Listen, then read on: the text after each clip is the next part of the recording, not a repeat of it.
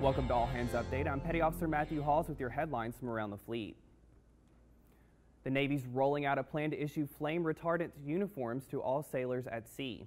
The three-phase plan includes first educating commands on proper damage control techniques to reduce the risk of injury, then replacing current coveralls with a flame-resistant material using the current design, and lastly developing a new uniform that is flame-resistant, provides arc flash protection, and contains low lint levels.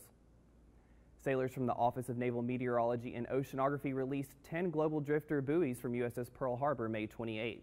The buoys measure ocean currents, sea surface temperatures, and atmospheric pressure, all of which allow for more accurate weather forecasts and can aid in search and rescue missions and disaster response operations.